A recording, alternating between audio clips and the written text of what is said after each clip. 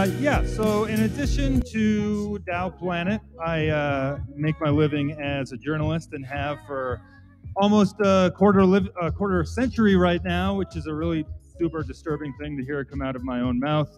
Um, and so I spend most of my time uh, talking at rooms of people like this or uh, listening to whoever is willing to explain whatever they're doing to me as well. Um, and so my journey to Web3 um, started with a project I did um, several years ago. In a way, it's kind of a precursor to my involvement in Web3, and that was that I crowdsourced a science fiction novel uh, with some readers from CNET, and this is back in like 2015, 2016, uh, and I really wish I was able to do it with some of the Web3 tools that we have now because organizing in like just a Google Doc and a Facebook group was totally a nightmare.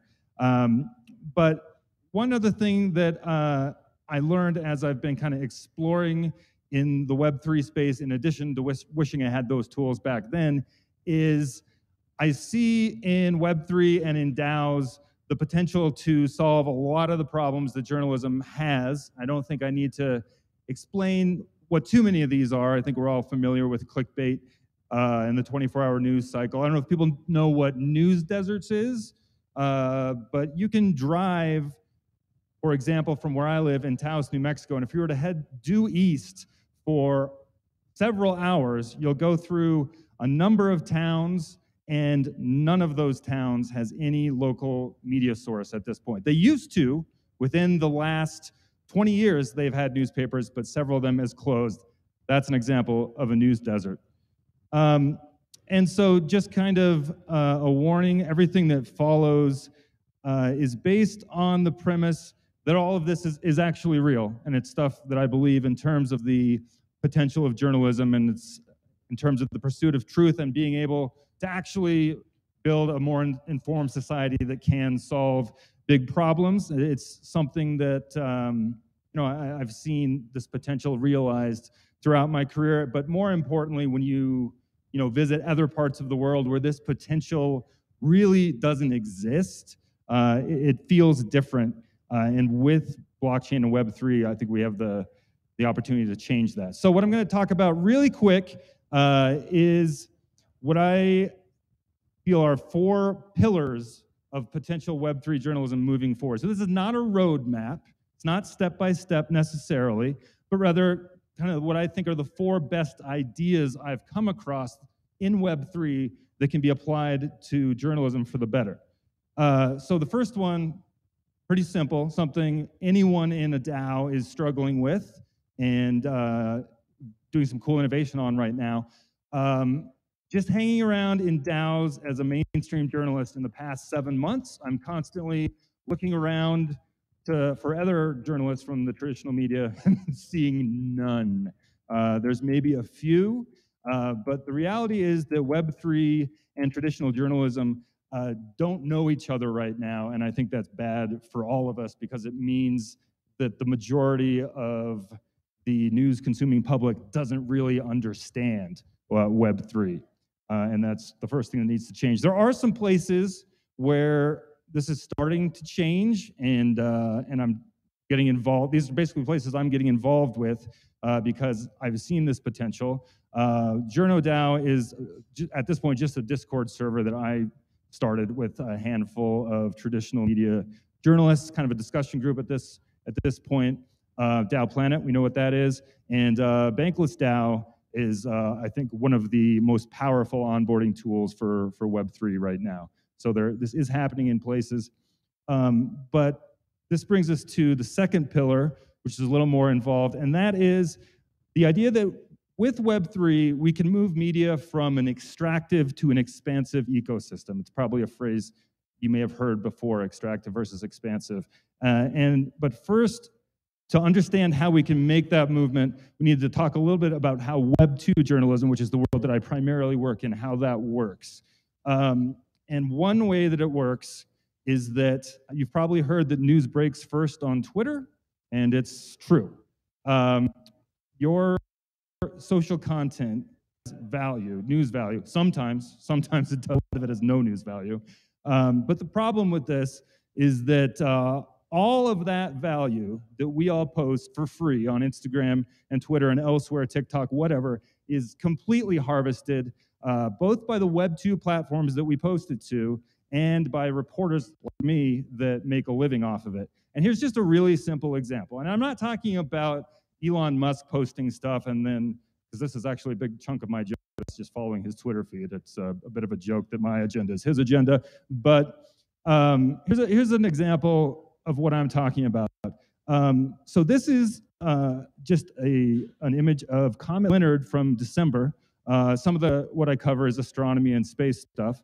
Uh, and so I simply uh, grabbed this really cool gift that an amateur astronomer uh, created with some really expensive equipment. And I grabbed it, uh, threw it in my story that you can see there on the right. And hey, you know, Dr. Janetta, I think, was actually pretty psyched that this was out there. In fact, I know that they were. Uh, but the fact is, uh, at the end of the day, uh, I got paid for this tweet. Twitter got paid for this tweet. The person that took the photo with the expensive equipment didn't get paid anything. And something just seems maybe a little bit off about that.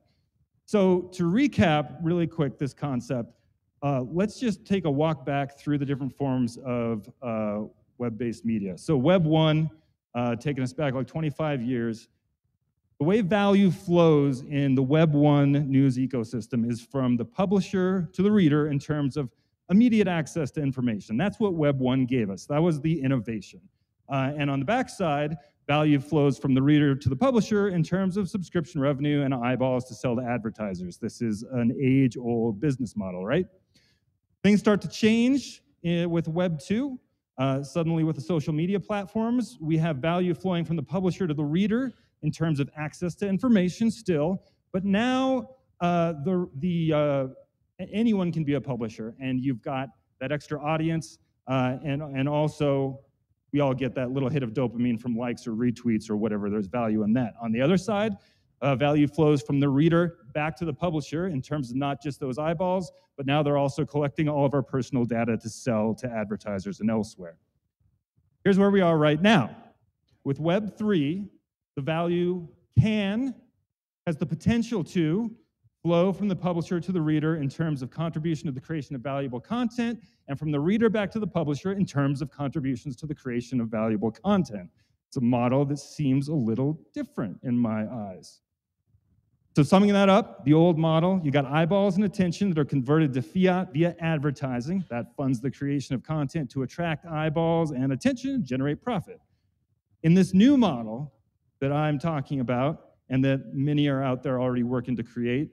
Engagement drives the creation of content, and that drives more engagement, generating value for the public good in the process. And there's the key the engagement and creation can be moderated, measured, and facilitated through tokens and smart contracts. So, summing that up in a couple of other ways. So, with Web3, we can be expansive rather than extractive. And Web3 is the potential of citizen journalism recognized and civic life revitalized. Okay, so on to the third pillar. Um, you can put information on chain to unlock its power. Uh, a couple of examples of how this has already been done. The Associated Press, uh, in a kind of this is an experiment in 2020. Uh, they put election results uh, on chain with help of Chainlink, and they use that to settle prediction markets. Um, also, some other experiments that are in action or uh, have been tried. Poet was a, uh, a token-based uh, system that allowed, among other things, allowed publishers to put their portfolio uh, on chain. Uh, Ocean Protocol is doing super cool stuff that some of you are probably familiar with in terms of putting data on chain, token gating it, and all other kinds of cool stuff. And then the decentralized science community, some of these folks are here, and I think they're actually beginning to build the models in terms of integrating information and data uh, with blockchain. And I think that what they're doing is a potential way, lead, potentially leading the way. Uh, so now to journalism, some examples of how facts on chain might work, and kind of the potential that's there. For one thing, uh, it has it has it's an opportunity to make working with anonymous sources uh, a lot more uh, secure and simple for journalists. And I don't know if uh, this is how many people are still concerned about deep fakes. It was a pretty big deal before we are all worried about COVID, uh, but I don't think the risk has gone away. Uh, so I can imagine some sort of system in which if a, a journalist does uh, a video interview, that file can go on IPFS and, and be tied to a multi-sig or something like that. And uh, so then if a potential deepfake pop, pop, pops up, you have the original on chain to compare and contrast.